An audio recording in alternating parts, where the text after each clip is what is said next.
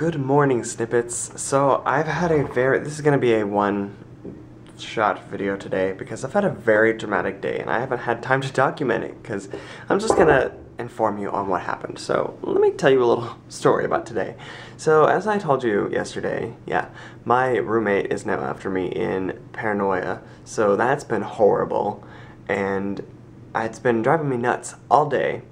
So my roommate today, okay, so I've been pretty safe all day. Like I felt, you know, I felt okay.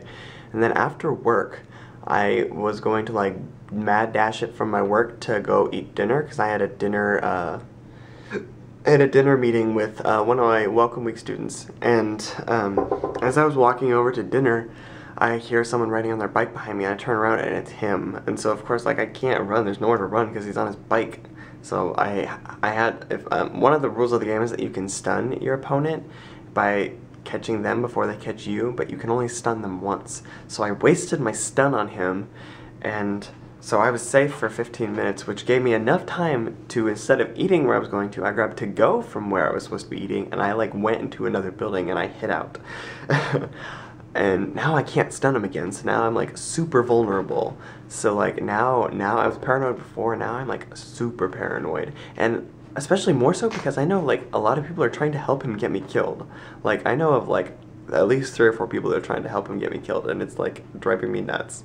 So I'm like, I'm trusting no one, like I, I'm telling no one what I'm doing anymore. Like my class schedule, I mean, he has my class schedule and my work schedule, and there's nothing I can do about that. But all my other things that I have going on, I have on like a hidden calendar that no one knows about. I, I have, I'm not telling anyone what's going on anymore until this game is over.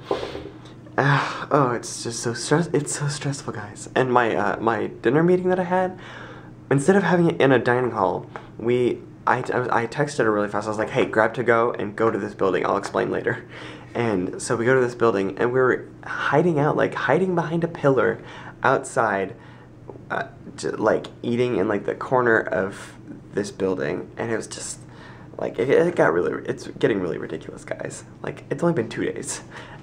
There's still another week and long time left of this game. I just, I want to win so bad.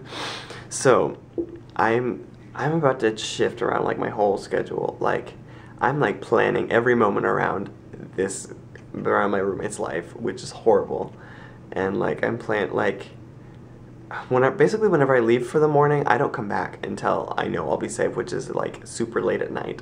So it's, it's, getting so crazy. Like I'm getting to the point where I'm gonna be like skipping meals to like hide out because I know he'll be waiting for me. Like I know he knows when I get off work, so he'll be waiting for me outside my office. So I have to just wait there until I think that he's left and uh, it's gonna be so it's gonna be miserable guys i'm hopefully he doesn't watch this because then i'm screwed but uh, don't play this game it ruins lives so i need to plan more of what i'm gonna do to avoid this disaster and i have to see the other thing is i have yet to kill a eliminate a person and the because the person I'm after, again, I think I told you, like no one's ever heard of her, and my only lead is I know her suitemate, but it doesn't it hasn't been helping me much at all.